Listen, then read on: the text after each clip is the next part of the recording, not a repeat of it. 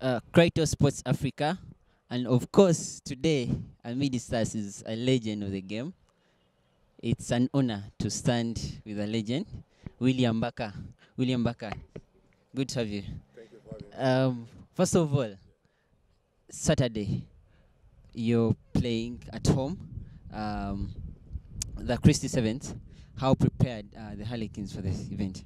I mean, uh, it's been a tough season for us, but um, I mean, um, we've been putting in the hard work, and um, hopefully it goes well for us because, um, yeah, I think if you put in the hard work, I, I believe you expect results. But at the same time, like um, there's um, a lot of good teams that have um, uh, coming for the tournament, so it's going going to be quite competitive. But I believe uh, the boys are quite ready. Okay. Um, the debut that you made, the sevens debut, um, against Tunisia, the 15th uh, Gold Cup, yes, against Tunisia. Uh, how prepared were you for that game? Um, I mean, I was coming straight from the sevens, and uh, you know, it's a, it's a whole totally different ball game. But um, um, it was quite quite quite nice because yeah, it's always a pleasure representing your country, and uh, yeah, the boys um, were quite um, very welcoming and uh, quite helpful as well. So um, yeah, it was quite easy just gelling in and uh, fitting in the squad. And of course, you scored on your debut against Tunisia. How was the feeling?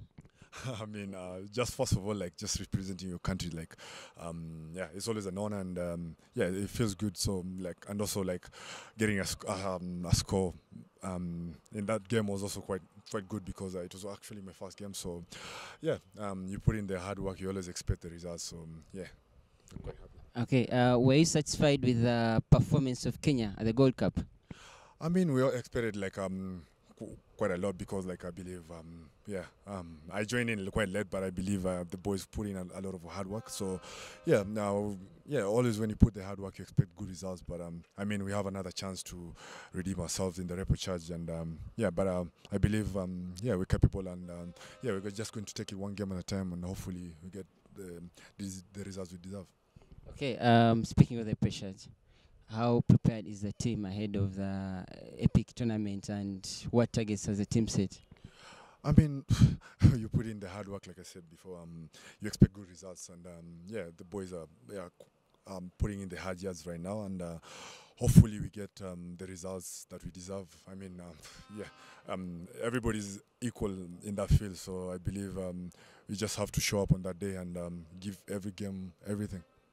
All right, thank you so much, Willy Ambaka, for having this. Uh, we met Krat- Kratos Africa.